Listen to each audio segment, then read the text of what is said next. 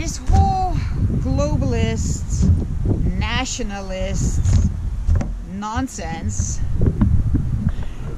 is as ridiculous as the right hand blaming the left hand for whatever, everything, and chopping it off as a punishment or to deal with the obvious problem. And then, of course, bleeding to death. Completely bonkers. Would it be wise of the left hand to preemptively chop off the right hand?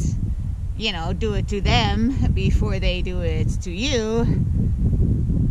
Donald Trump does not seem to realize that the US of A is actually on this planet.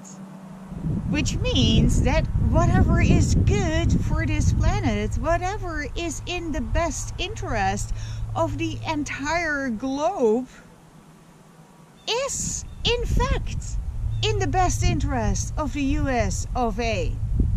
There is no separation between the needs of the whole and the needs of the part.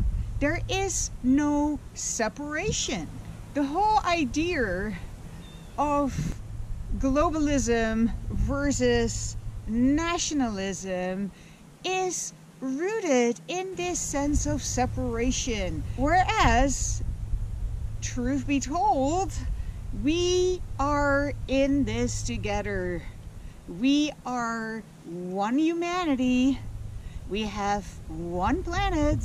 And whatever happens to one of us happens to all of us. Globalism. It's about the globe. And the globe is a globe, it's round. And things go around and around and around this globe.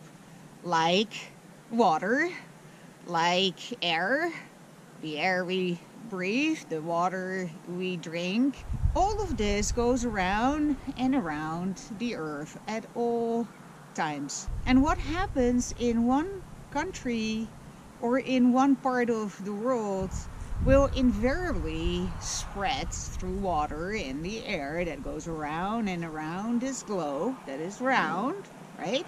It's not a flat earth. So we either have a healthy globe in which each and every country can have their own little slice of this healthy globe, or we're going to have an unhealthy globe.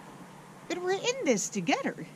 You can't separate yourself from the rest of humanity and think that you won't suffer the consequences.